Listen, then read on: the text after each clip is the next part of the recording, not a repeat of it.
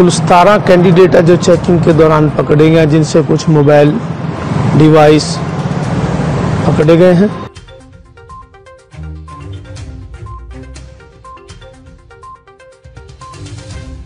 इसमें हमने 420, 120 419 और आईटी एक्ट के तहत मुकदमा दर्ज करके अब इनको पेश करेंगे कोर्ट में। अम्बाला में सेना के खड़गा स्टेडियम में डिफेंस सिविल की भर्ती के लिए एग्ज़ाम चल रहा था।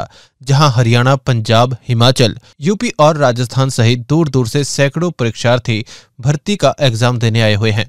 लेकिन इसी बीच अधिकारी को एग्ज़ाम दे रहे एक चौबे सिंह नाम के युवक पर शक हुआ तो उसकी तलाशी ली गई। तो पाया गया कि वह मोबाइल से किसी से बातें करके पेपर सॉल्व कर रहा था। बाद में जब बाकी परीक्षार्थियों की तलाशी ली गई तो कुल सत्रह लोगों से डिवाइस मिले, जिन्हें तुरंत स्थानीय पुलिस के हवाले कर दिया गया। पकड़े गए लोगों में से कुछ कैंडिडेट फर्जी भी पाए गए जो अन्य किसी के स्थान पर पेपर दे रहे थे। फ़िलहाल अम्बाला पुलिस ने इन सत्रह युवकों के खिलाफ आईपीसी की धारा 420, 120 बी 419 और आईटी एक्ट के तहत मुकदमा दर्ज करके इन्हें कोर्ट में पेश करने की तैयारी शुरू कर दी है।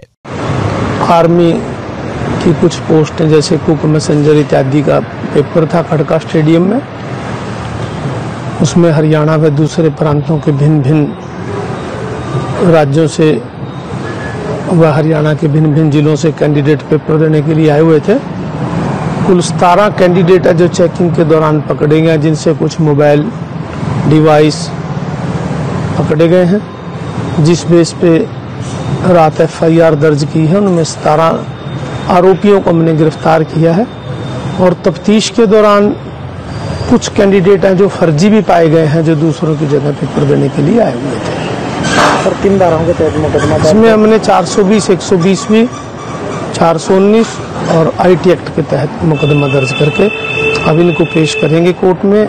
माननीय न्यायालय से संबंधित आरोपियों का जो मेन आरोपी हैं उनका पुलिस रिमांड लिया जाएगा और इसके तार कहाँ कहाँ तक जुड़े हुए हैं क्या रैकेट है कौन कौन लोग इसमें शामिल हैं उनके बारे में पूछताछ की जाएगी और उनको गिरफ़्तार किया जाएगा। सर क्या कोई आइडेंटिफाई हो पाया है कि कितने फर्जी है इनमें से? हाँ अभी इन्वेस्टिगेशन का विषय है, हम डिस्क्लोज करना इस समय उचित नहीं है। अपने आसपास से जुड़े ऐसे ही अपडेट्स पाने के लिए देखते रहे अम्बाला ब्रेकिंग न्यूज़ हमें फेसबुक पर लाइक करें यूट्यूब पर सब्सक्राइब करें और अपने एप्पल और एंड्रॉयड मोबाइल फ़ोन के प्ले स्टोर से हमारी app Ambala breaking news download करें।